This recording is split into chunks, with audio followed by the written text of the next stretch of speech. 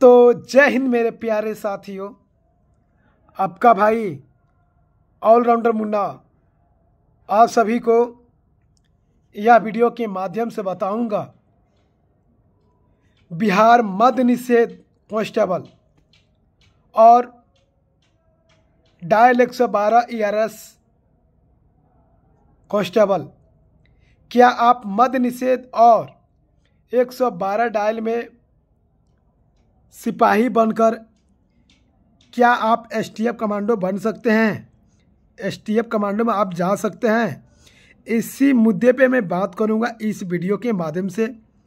काफ़ी मेरे भाई का सवाल था, मैसेज कर रहे थे, कमेंट भी कर रहे थे, क्या भैया मद निषेध में हम भर्ती होकर एसटीएफ में जा सकते हैं? और 112 डायल में भर्ती होकर क्या मैं एसटीएफ में बन सकता हूँ कमांडो?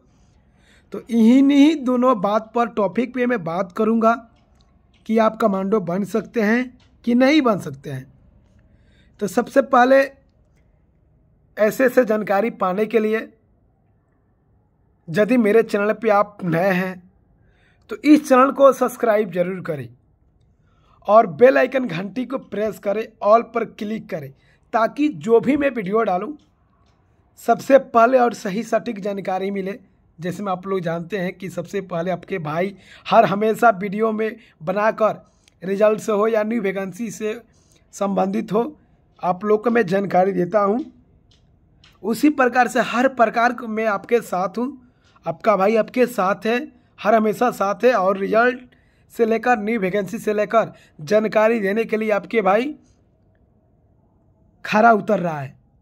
आप लोग का प्यार है कितना ही दिन में बहुत ज़्यादा हम चमक गए ये सब आप लोग का दिन है मेरे भाई। आप लोग का प्यार है। तो आइए बात करूँगा मद निषेध कांस्टेबल के बारे में। क्या एसटीएफ में आप जा सकते हैं? तो सीधी सी बात है, आप मद निषेध में भर्ती होकर एसटीएफ कमांडो में नहीं जा सकते हैं। पूछिए क्यों? इसलिए मद निषेध का ट्रेनिंग तीन माह का रहता था पहले।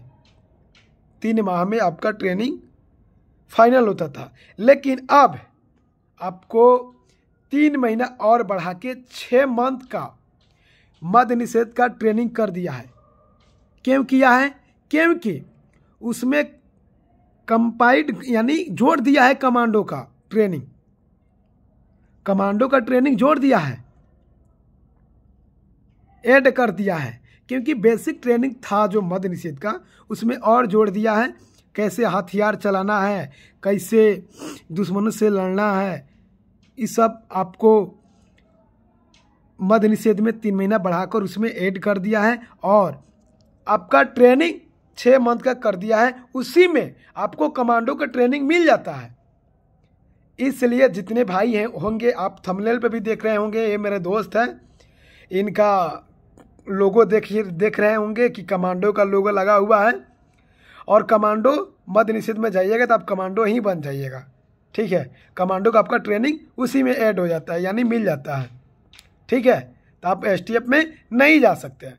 आइए बात करेंगे अब एक सौ बारह डायल की। क्या आप एसटीएफ में जा सकते हैं? तो जी हाँ बिल्कुल आप जा सकते हैं। 112 डायल में भर्ती होकर आप एसटीएफ कमांडो बन सकते हैं। ठीक है? तो आप कब बनिएगा?